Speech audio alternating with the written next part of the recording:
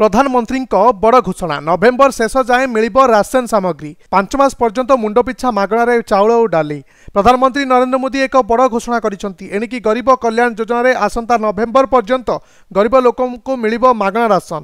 ପରିବାର ପ୍ରତ୍ୟେକ ସଦସ୍ୟଙ୍କ ପ୍ରତି ମାସରେ ପାଞ୍ଚ କେଜି ଚାଉଳ କିମ୍ବା ଅଟା ଓ ଏକ କେଜି ଡାଲି ଯୋଗାଇ ଦିଆଯିବ କରୋନା ବ୍ୟାପିବା ପରଠାରୁ ତିନି ମାସ ହେଲା ସରକାର ମାଗଣାରେ ରାସନ ଯୋଗାଇ ଆସୁଛନ୍ତି ତେବେ ଏହାର ସମୟସୀମା ବଢ଼ାଇ ଦିଆଯାଇଛି ଯାହାଫଳରେ ଏବେ ନଭେମ୍ବର ଯାଏଁ ମାଗଣା ରାସନ ଯୋଗାଇ ଦିଆଯିବ ବୋଲି ଦେଶବାସୀଙ୍କୁ ସମ୍ବୋଧନ କରି ଘୋଷଣା କରିଛନ୍ତି ପ୍ରଧାନମନ୍ତ୍ରୀ ନରେନ୍ଦ୍ର ମୋଦି ଏ ବାବଦରେ ଆଗକୁ ନବେ ହଜାର କୋଟି ଟଙ୍କା ଖର୍ଚ୍ଚ ହେବ ଓ ଗତ ତିନି ମାସ ଖର୍ଚ୍ଚ ମିଶାଇ ପ୍ରାୟ ଦେଢ଼ ଲକ୍ଷ କୋଟି ଟଙ୍କା ହେବ ବୋଲି ପ୍ରଧାନମନ୍ତ୍ରୀ କହିଛନ୍ତି ଏବେ ଅନଲକ୍ ଦୁଇରେ ଲୋକେ ସତର୍କ ରହୁନାହାନ୍ତି ବୋଲି କହିଛନ୍ତି ମୋଦି। ତେଣୁ ଆଗକୁ ବର୍ଷା ଦିନ ଥିବାରୁ ଥଣ୍ଡା ଜ୍ୱର ଓ କାଶ ଅଧିକ ଆକ୍ରାନ୍ତ କରିବାର ଆଶଙ୍କା ଥିବାରୁ ଲୋକେ ସତର୍କତା ଅବଲମ୍ବନ କରିବା ସହ ମାସ୍କ ପିନ୍ଧିବା ଓ ସାମାଜିକ ଦୂରତା କଡ଼ାକଡ଼ି ଭାବେ ପାଳନ କରିବା ପ୍ରଧାନମନ୍ତ୍ରୀ ପରାମର୍ଶ ଦେଇଛନ୍ତି।